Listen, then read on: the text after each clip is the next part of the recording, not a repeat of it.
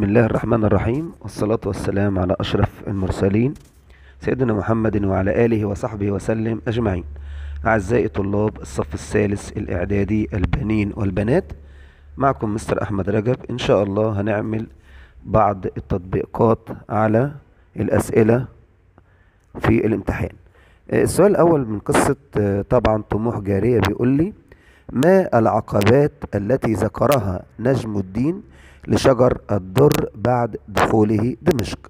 طبعا من العقبات اللي ذكرها صعوبة الطريق وخبث الفرنج وأمراء بني أيوب أو سيوف بني أيوب وكمائنهم. وبالنسبة طبعا لأهم الصعوبات طبعا زي سوداء بنت الفقيه وأتباعها الموجودين بيننا. السؤال الثاني بيقول لي علل إرسال نجم الدين كتابا إلى عمه الصالح إسماعيل.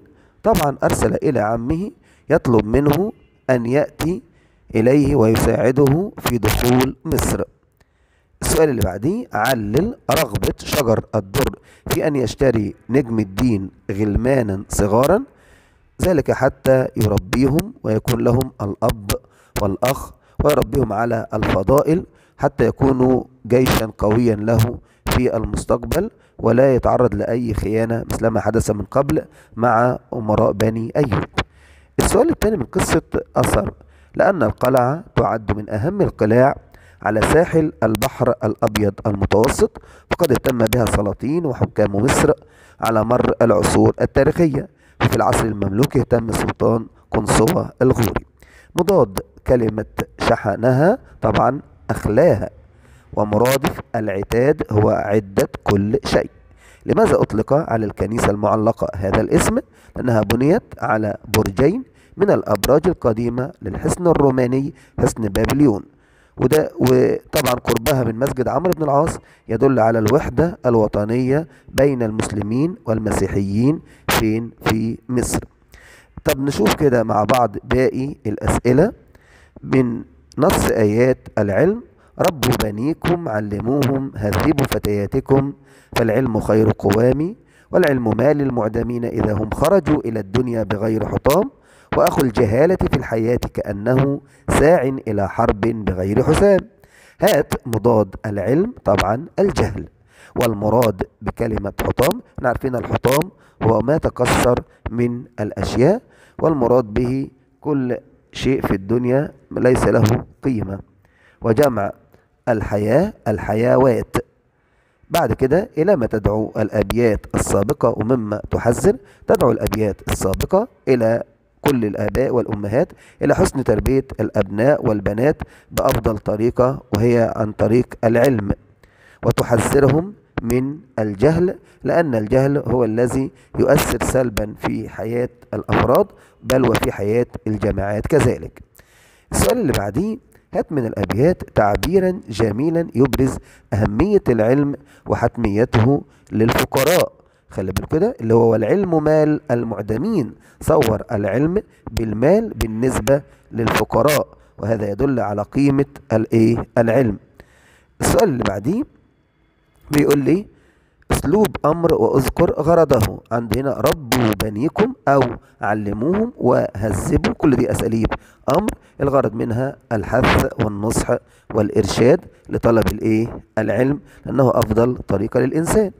السؤال اللي بعديه اكتب ما حفظت بيتا يبرز ضرر الجهل وفضل العلم. خلي بالنا العلم العلم والجهل في نص آيات العلم حفظ اوعى ننسى إن هو إيه؟ حفظ.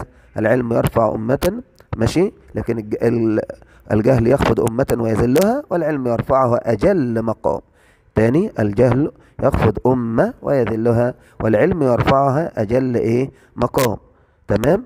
زي ما برضو في الأبيات انظر الأقوام كيف سمت بهم تلك العلوم. يبقى أنا لازم أركز جدا جدا من سؤال الحفظ اللي بيبقى عليه درجتين.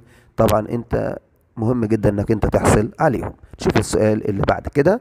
النحو بيقول لي يا مواطن آه لتعرف أن المعرفة حق. تمام؟ آه على تحقيق مكتبة الأسرة فهي تقدم المعرفة أظهارها للأسرة كلها.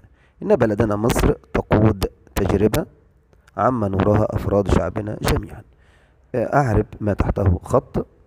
هنا هذا شعار هنا طبعا جملة اسمية يبقى شعار خبر مرفوع وعلامة رفعه الضم. تعمل على تحقيقه مكتبة الأسرة. تعمل مكتبة. مين اللي بتعمل؟ مكتبة. مكتبة هنا فاعل مرفوع علامة رفعه الضم. آه إن بلدنا مصر تقود تجربة. ماذا تقود؟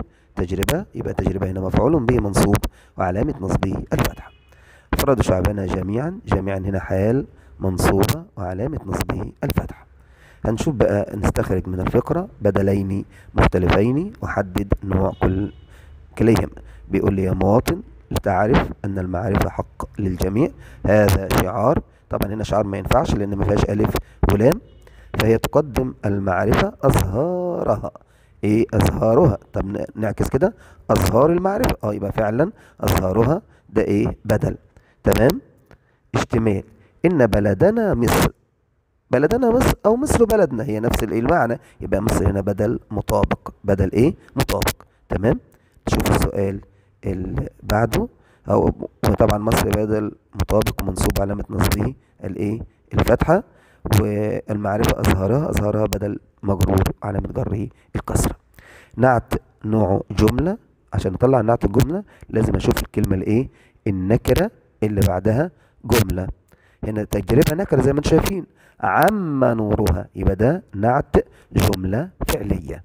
في محل نصب لأن تجربة منصوبة يبقى الجملة الفعلية في محل إيه؟ نصب. تمام؟ خلي بالنا كده. بعد كده بيقول لي توكيد وأذكر نوعه وإعرابه. عندي هنا للأسرة كلها يبقى التوكيد كلها ده توكيد معنوي مجرور وعلامة جره الكسرة. طب كلمة جميعا اللي هي في آخر الكلام إحنا قلنا دي حال منصوبة بالفتحة. طب ليه مش توكيد؟ لأن ما فيهاش إيه؟ ضمير. بعد كده بيقول لي منادى واذكر نوعه وحكمه الإعراب. طبعا المنادى هنا كلمة مواطن. يا مواطن ده كلمة واحدة وما فيهاش أي تنوين يبقى اسمها منادى نكرة مقصودة. طب النكرة المقصودة حكمها إيه؟ تبنى على ما ترفع به. يبقى مواطن منادى نكرة مقصودة حكمه مبني على الضم لأنه مفرد. هنا في محل إيه طبعا؟ نصب. يبقى نكرة مقصودة مبني على الضم في محل نصب. بعد كده آه في أي مادة تكشف في معجمك عن كلمة حق؟ طبعا حق اسم. الفعل بتاعها حق. حق هنا لو لاحظنا هنلاقي كم حرف؟ حرفين. يبقى لما أجي أكشف أفك الحرف الثاني اللي هو القاف وأخليها في الحاء مع القاف مع القاف. يبقى باب الحاء فصل القاف وما يثلثهما القاف. أو في مادة حا قا قا. يبقى لازم وأنا بكشف في المعجم لازم أقول الحاء والقاف والقاف. ثلاث حروف لازم يبقوا متقن جدا جدا جدا علشان أقدر أحصل على الدرجة النهائية إن شاء الله تعالى. أتمنى لكم التوفيق. معكم مستر أحمد رجب. والسلام عليكم ورحمة الله وبركاته. إلى فيديو آخر. السلام عليكم.